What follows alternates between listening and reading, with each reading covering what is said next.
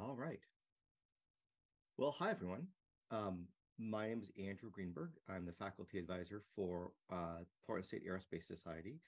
I um, would usually be downtown with everyone at the uh, Pacific Northwest Aerospace Expo, but I am sick and I have a, a what's essentially adult chickenpox. And so, as one of my friends said, "Hey, the bonus point here is you don't need a Halloween outfit. You can just go as a zombie."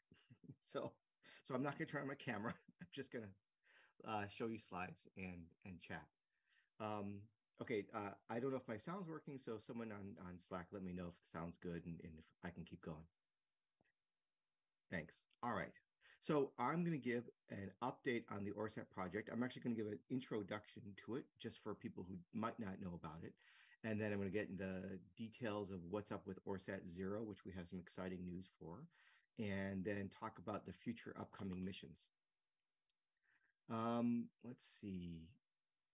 So PSAS. Um, I, hold on, let me go ahead and turn this off. So, if you don't know uh, about the Portland State Aerospace Society, we are um, a interdisciplinary, extracurricular, team-based student project. Um, we are uh, we started a billion years ago, like 20 years ago, and since we don't have aerospace at Portland State, we've always been doing uh, this thing where we take electrical engineers and mechanical engineers and computer science and business and math and physics students and we put them all together on a really, really hard project. Um, and we don't have a normal funding source, so we do crowdfunding. Sometimes we get small grants from the Oregon Space Grant Consortium, but it's really a, it's a student project, an extracurricular student project. So we have no idea what we're doing uh, is something we like to say a lot, and that's mostly because we uh, again we don't have a formal program. We do everything sort of ad hoc. Uh, so this is us. Uh, we've done. We started with amateur rocketry, and then we uh, moved on to uh, larger liquid fuel engines, and we moved on to satellites, and and went from there. Uh, so this is a quick little cute video of uh, one of our previous uh, rocket launches, you can see that one of the things that we've always done is we've always done electronics and control and sort of the satellite bits that you'd want to do. And so this is a, a image of us on a rocket launch where we're controlling the roll of the um, rocket using, uh, excuse me for a second, using um, canards, the little wings up here. And we've done a bunch of stuff three axis, you know, uh, three axis cold gas reaction control system. We've done Wi-Fi from Mach 1, all this kind of silly stuff. And when we were all done with that flight, we sort of realized, hey, we, we kind of built our own CubeSat. Um, so uh, the interesting thing with OreSat was we have always been an open source project. So when we decided to build a CubeSat, we basically said, hey, we really, really need to have an open source CubeSat.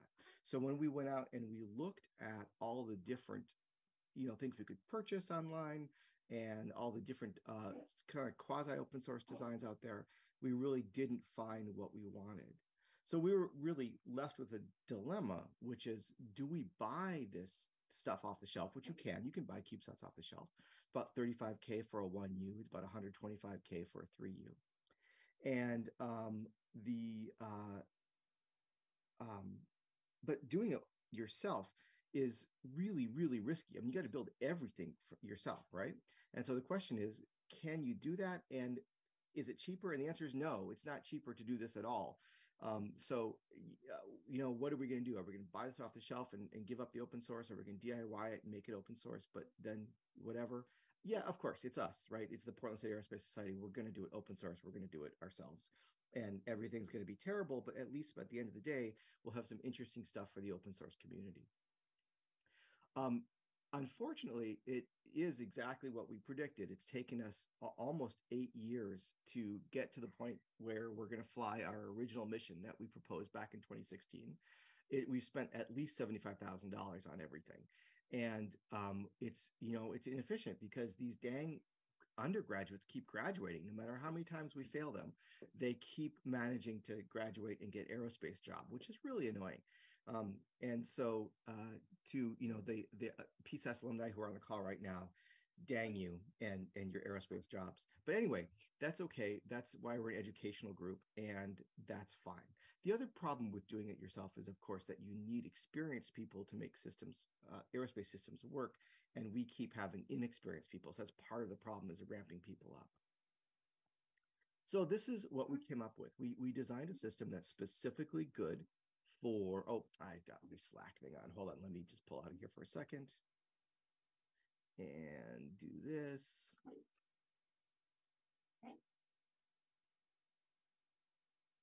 All right, thanks.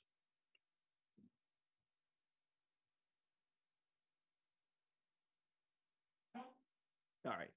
Um, and so, uh, oops, sorry, went far too far. So this is the uh, OreSat system. Uh, it's uh, made specifically for student teams. And so we have this idea of this card cage, like an old 1970s computer, where you can pop each one of these cards out. Each one of these cards does a different thing. This is the battery system. This is a star tracker card. This is the um, the C3 card, uh, which is our onboard computer. And each of these can be a different student project for a student team. And they all have a common mechanical and electrical interface, which is, of course, you know, critical. We also wanted it scalable, so we could start with it. We knew we, we wanted a 2U for our initial mission, but we wanted to be able to go down to a 1U and up to a 3U. And it turns out going down to a, a 1U was critical, as you'll see in a second.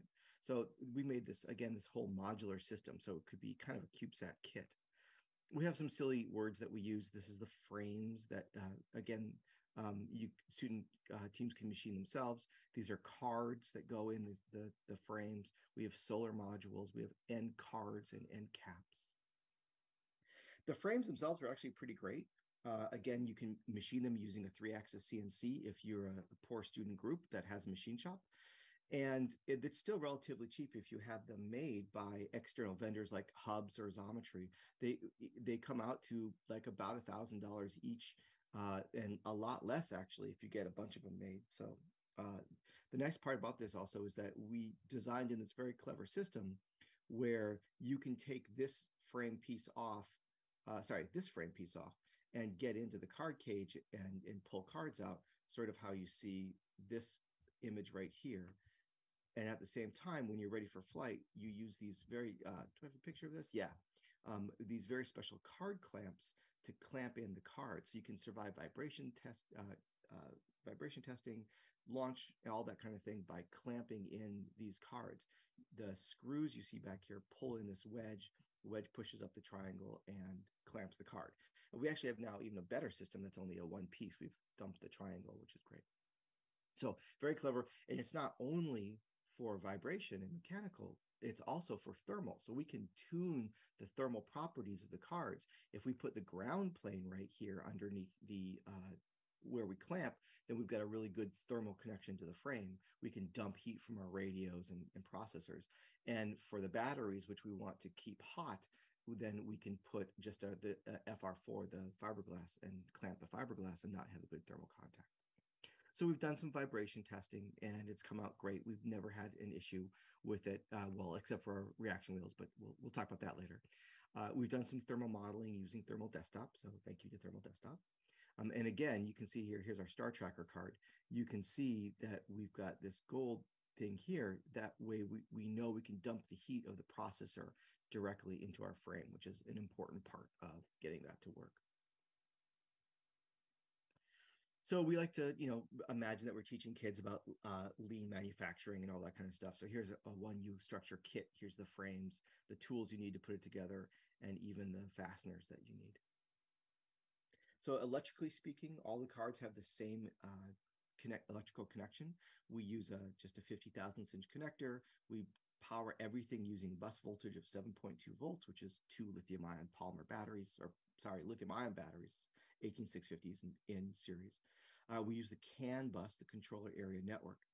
And then for radio frequency, instead of using coax, we actually use strip lines. You can see them here. And so this is a really great thing because we have literally no wires to fail, which is a big deal because especially vibration wires fail.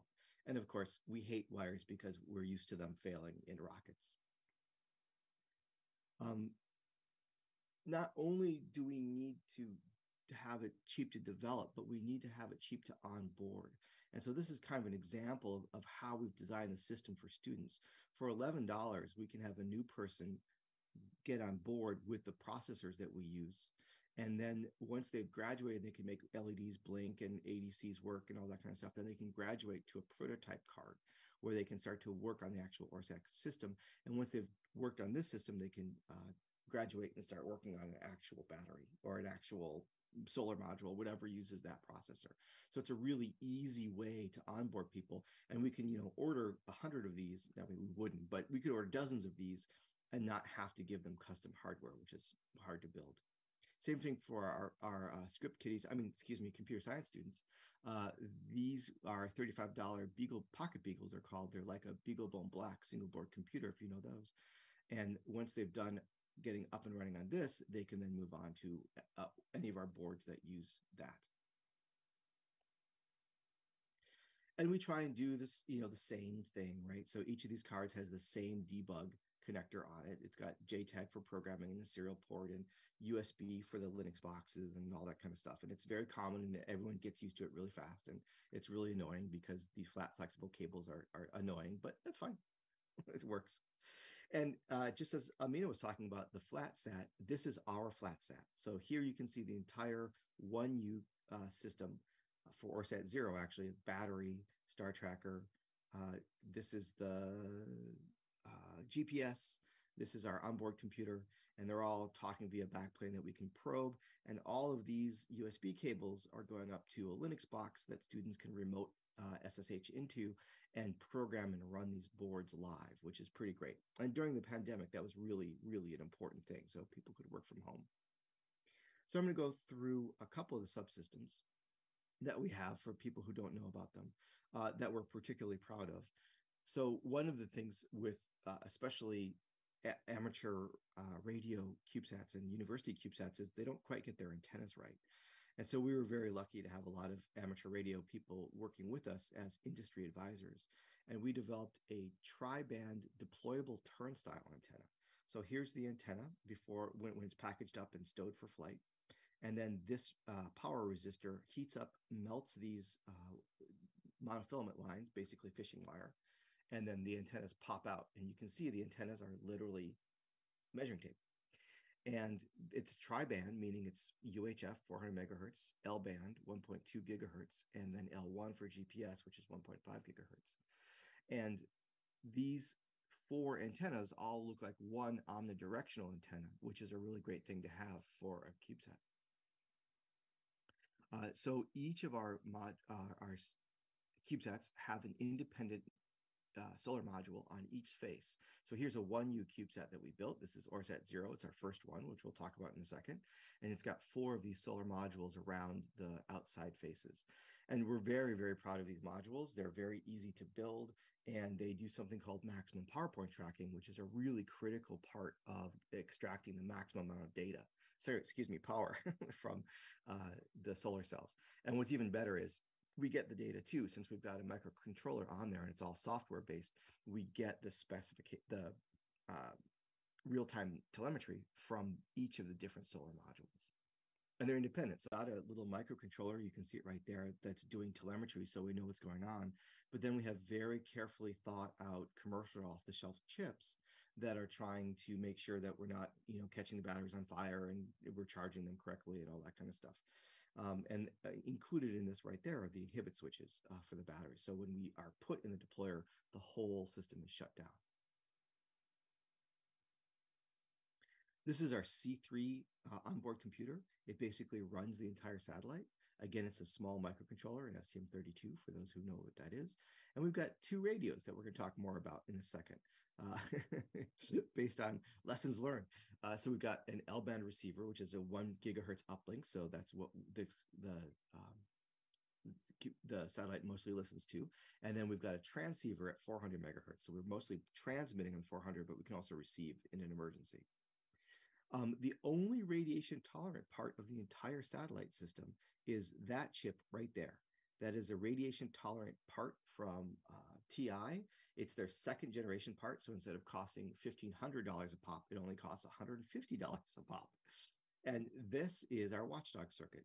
Uh, if the onboard computer isn't successfully, we, people call it kicking the watchdog timer. We call it petting the watchdog timer.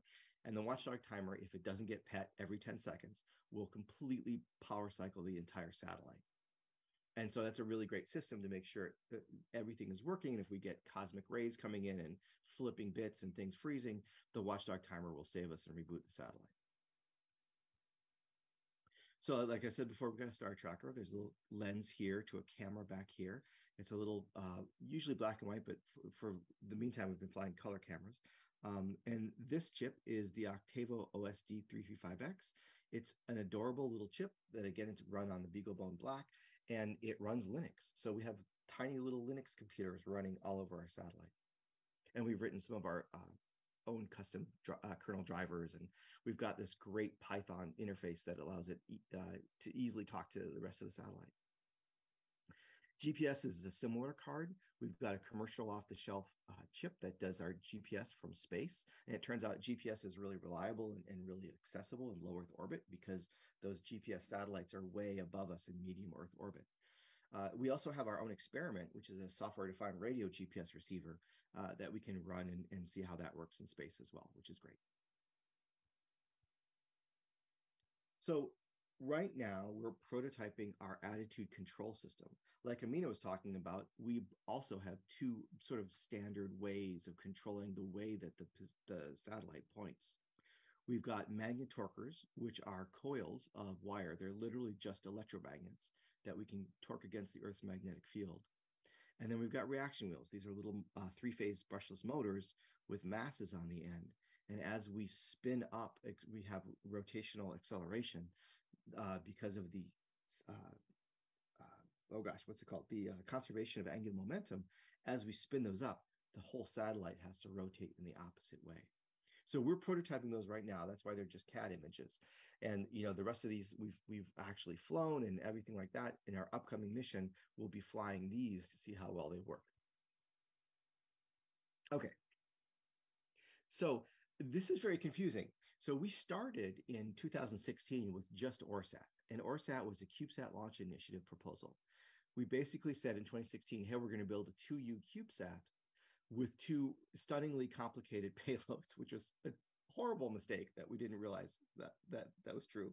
And uh, it was, you know, this this 2U CubeSat that we proposed called OreSat has attitude determination and control systems. It's got soft, it's got all the stuff that was just way too much for us to do on our first satellite. But we didn't know that then. And so we got accepted, which is terrible. And so we immediately started building this 2U very complicated satellite. And at one point, we were about 2020, we were actually about, we were ready and we realized, hey, we really did have this modular thing. You know, maybe we should do this less sophisticated satellite to test it out. And then um, this amazing thing happened in 2020. We got this email that said, hey, so uh, do you want to fly a 1U for free? and this was the beginning of a big change in space, which is in 2016, there was no way to get to space for free for a student group besides the CubeSat Launch Initiative, which was a NASA program. It was too expensive, and there was just not a lot of people going to space. By 2020, and now certainly in 2022, there's a lot of folks who are able to take university groups to space. So it's much, much easier these days to get a small educational group up in space. So we got this you know this uh, offer this company was going to space for the first time they didn't want to take necessarily paying customers so they wanted to sort of cut their teeth if you will on uh, free university groups. So of course we said yes. And in six months we had built a 1u cubesat out of this 2u system that we already had which was really impressive. And, and you know kudos to the students who worked on that and got this all done in six months uh, that uh, was delayed and delayed and delayed, and then got switched uh, providers, and then got delayed again, and then was on SpaceX. Was literally mounted to a SpaceX trans uh, Falcon 9, and then got pulled off at the last minute. And there's uh, over beers we can uh, give you the whole story of what happened to OreSat Zero. But about a, two years later, we finally launched on March 15th, 2022. And I'll, I'll give you some details on that. And then that launched is in space. And then we're going to fly OreSat 0.5, which is a 2U dem- demonstrator for the attitude determination control system. And that's going to launch this coming May. And because we had already called this first one OreSat, we called jokingly we called the one we just flew OreSat zero because zero comes before you know nothing, I guess. But then we got this other opportunity to fly another satellite. And so what's between zero and one, I guess? Well, 0.5. All right. So just to be confusing. So OreSat zero. So its mission was to be a technology demonstrator for the OreSat bus. We also like to joke to not catch fire in space because that's hard, right? Get it? Catch fire in space. Okay. And so thank you to Spaceflight for the ride. Uh, that was an amazing deal. Uh, this is OreSat zero before integration, the night before. You can see the solar modules and the um, deployable turnstile and battery pack, and and that is our end cap, which I'll show you in a second. These are our poor high school students who we had working all night putting it together because the undergraduates had you know other things to do like study for finals. Um, and uh, this is us at Spaceflight getting ready to integrate it. And this is the end plate that we flew. It's got a cute little design. It says organs for satellite. Thank you to Spaceflight and Osh Park and other groups who supported us. Oh, there's a better picture. Also, thanks to the National Space Grant, which for us is called the Oregon Space Grant Consortium, which really helped out uh, funding parts of OreSat. So this is us integrating it into a CubeSat deployer. And if you ever want a long diatribe, uh, ask me why CubeSats are popular and why they're cheap. It turns out it's not necessarily the form factor; it's these aerospace rated boxes. So our our um, our satellite can catch fire and explode in shrapnel, and it's all safely kept in the box for the other payloads. So we went up on Astra 1, which is launch vehicle 9. Um, this was a scary thing for us. Uh, and the reason why it was scary was because Astra was a very unproven rocket. It had failed a bunch of times and had, uh, and so we weren't sure we were going to make it. This one actually made it, which is fantastic. Well, there's no sound, but that's fine. And so that was OreSat Zero going to space.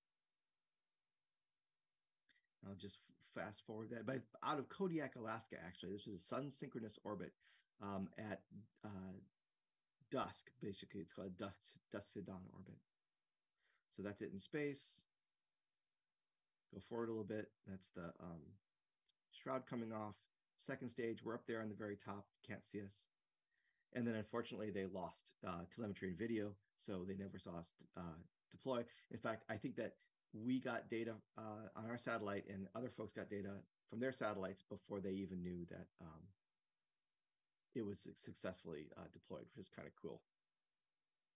All right, let's stop that. All right, so that's us looking nervous. was it really gonna? Was it really gonna fly? And of course, they flew right during midterms, which was not midterms. Excuse me, finals, uh, which is final exams, which was terrible. So where's OreSat zero right now? Well, apparently we're uh, over, almost over Greenland. I wonder which way we're going. Are we going south or north? We're going north, so we're about to pass over Greenland. Uh, the 18th Operational Space Group actually uh, tracks our satellite. Even if we can't hear from it and know where it is, they have track of it all the time. So that's why one of the great things about being in space is someone else has very expensive equipment to track your satellite for you. This is the first data that we got back. Actually, no, sorry, it's a lot of data that we can. It's a couple days after it turns out. Anyway, uh, we got data back almost immediately, and it was amazing. Uh, we had fully charged batteries. We were at a good temperature. Everything was really healthy, and we got solid data back from all over the world. And this was very exciting for us. That there's an open source project called the Satellite Networked Open Ground Station, or SatNOGS and SatNOGs are these amateur folks who build a ground station from an open source kit. And then each of these green dots you see are people who have an active station. And it's basically like an entire global ground station for free for universities and open source uh, s- satellites. So we got some amazing data from folks in Dublin and folks in Australia and even in the US, uh, you know, just all over the world. We couldn't believe how much data we got back. It was fantastic. However, there's a problem, which is the International Amateur Radio Union says that if we don't have positive, we, we basically says that we can't fly a satellite unless we have positive transmitter control. That means we need to be able to turn off the transmitter if they ask us to. And so we said, that's fine. And just to be paranoid, we'll see if we've not heard a, a command from the ground for two weeks, we'll go silent. So um, that we don't just keep broadcasting if something's wrong with the radios. And that's fine. We'll just keep sending it TX enables command, right? Well, the problem is that this ground station network is receive only. You can't transmit. So yeah, we need a working ground station. So, okay, that's fine. Uh, we were already working on one, and we call it the University Class Open Ground Station or UNICLOGS. It's the worst name ever. It's built on top of SatNOGs, and it's much more expensive. Instead of maybe $200 to build a SatNOG station, it's $20,000. And that's because it's got software defined radios, it's got huge power amplifiers in it. It's meant to transmit to satellites. And we're very proud of this uh, um, project as well. There are now a couple other groups uh, in London and in down in uh, Pomona, California, building versions of the UNICLOG stations. And so uh, we hope to have again very slowly have a, a, gra- a global ground station for uh, transmission, not just reception. Problem was we weren't ready. This was not ready. We delivered a working satellite, but we did not have a working transmit ground station. So um, it went silent and that's fine. Uh, we finally got it working though, and we didn't get anything when we started transmitting. So we we you know transmitted for a long time on uh, our 1.2 gigahertz uplink and got nothing back, no, no pings. We then switched to our backup UHF transmitter, got nothing. We tried some giant power amplifiers and still nothing. And, and so we were super bummed. Is it dead? Can it not hear us? And just to kind of show you, uh, we have two receivers. We have an L band receiver that goes to its own radio and does nothing but receive. This LNA here is called a low noise amplifier, and it's a critical part of the radio that is foreshadowing.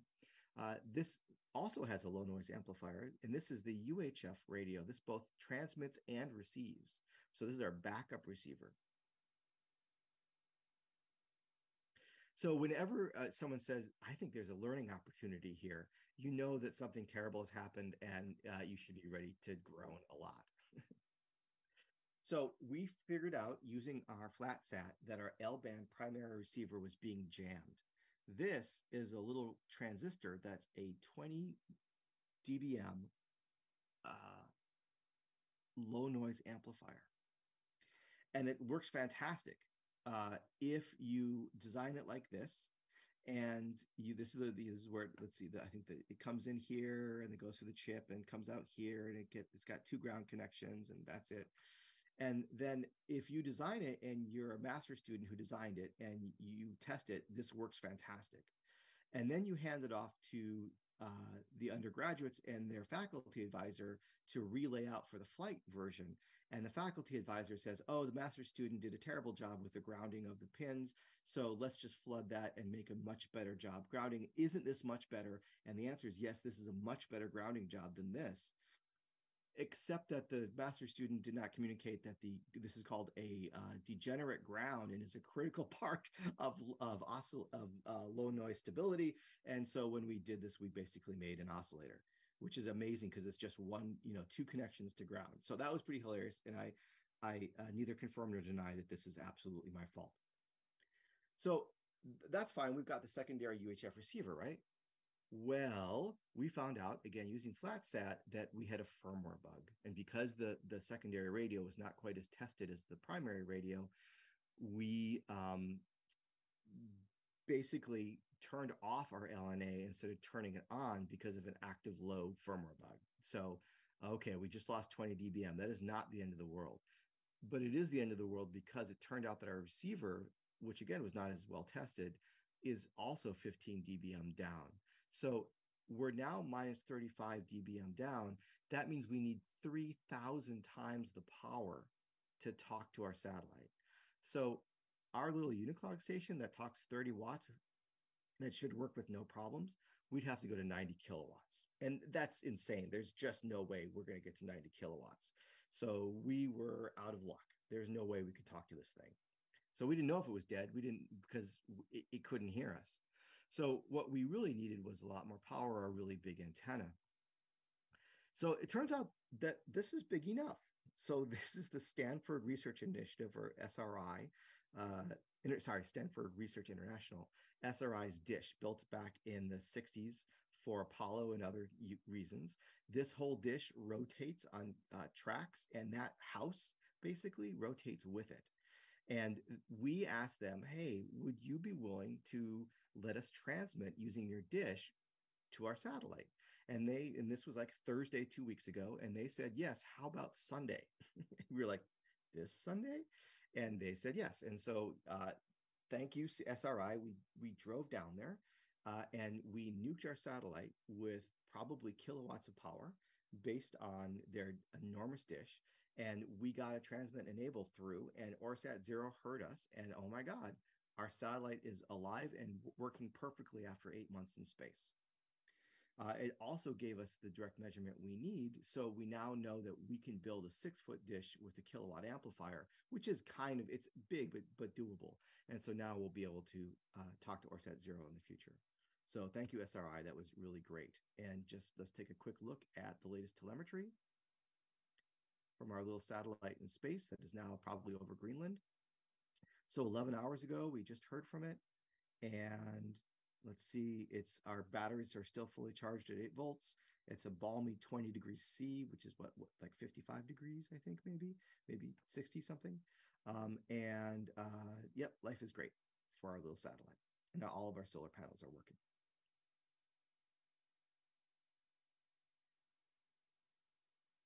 So next steps, we'll build a dish to keep OreSat Zero transmitting. And if we possibly can, then we'll upload a firmware patch. But we've got other stuff to do, like fix the receivers, because we've got a new mission coming up right now. We have OreSat 0.5 to hand off in uh, approximately four to five months, four months, I think. And this is a test of our attitude determination and control system, our reaction wheels here and our magnetorquers here. It's also a test of our upcoming science mission called the Cirrus Flux Camera, or CFC. Talk about that in a minute. So here's one of our first prototypes for OreSat 0.5. Again, testing this uh, reaction or attitude determination and control system. So our original satellite, if you remember back in 2017, was OreSat, now kind of OreSat 1, right? Um, and this will be deployed off the International Space Station in quarter two, 2024. This has our primary science mission, which is the Cirrus Flux Camera, which is going to help map the global distribution of cirrus clouds. And that's with our partners from the University of Maryland, Baltimore County, and the Mullard Space Science Laboratory at University College London. They're helping us design and do the science for this camera, and we're building and integrating the camera. It's a shortwave infrared camera at three bands that looks for the reflected spect- solar spectrum off of cirrus clouds. So we're actually really excited about this. This is real climate science, and we'll actually get some interesting and useful data for global climate modeling. We've flown this camera actually on a NASA balloon flight mission called the High Altitude Student Payload. So we only took it to 33 kilometers, uh, which is not 100 kilometers, which is the edge of space, but it was high enough to test it. And we got some great video uh, of that. And this was last year, actually, which is fantastic. So I won't play that. Um, and most of you already know that uh, OreSat mission has the OreSat one has a uh, big STEM outreach mission, and that STEM outreach mission is to do live video transmission transmissions to Oregon high school. So the Oregon high school students build their own ground station, and we point the satellite at them when they request it, and we beam them live video from space. Our joke is it's a 400 kilometer selfie stick. So things are going really well. Um, this is a hard system to build, but we're working on it. Uh, we've got a deployable helical antenna, and in the last year, we've gotten a uh, complete monolithic single piece of glass Schmidt Cassegrain telescope, hand ground by a guy in the Netherlands, uh, Rick Terhorst. Thank you, Rick uh, to get a six meters per pixel. That's spy, almost spy satellite like resolution, which is fantastic. here you can see an image. There's a bridge through the trees over there. And this is the image that we got from the telescope. And that works great. There's even a really great video from Huygens Optics on making that lens. So if you get a chance, go ahead and uh, uh, watch that video. It's true that they say that we're University of Portland, not Portland State University, but that's fine. We forgive them. Ground segment's going well. We've got prototypes of the handheld ground station. And thank you to Crowd Supply, who's going to distribute these uh, uh, ground station, uh, handheld ground stations to or, uh, Oregon students around, around Oregon. This is what it would be like if you had a cell phone in space. And this is what our camera will look like at six meters per pixel. You can see that's uh, La Pine High School. And so you can actually see some of the buildings and you can see the field. So it's going to be fantastic for, for students to see themselves. I mean, they won't see literally see themselves, but they'll see their, their school. So that's the quick update. Um, as always, we could really, really use your help. Uh, we're always looking for outside folks, even non PSU students, other students around Oregon and the world. We're always looking for industry advisors, and we are always looking for help. So reach out to us, especially at uh, aerospace at pdx.edu, and uh, get in touch. We're around. When we have some great uh, re- resources online, both at oresat.org and on GitHub. And if you need to reach out to me, here's my email address. So that's all I've got for you today. Uh, I've, I've, got a few minutes over. Uh, if there are any questions, I'll take them. Otherwise, I'll let people continue with their lunch break.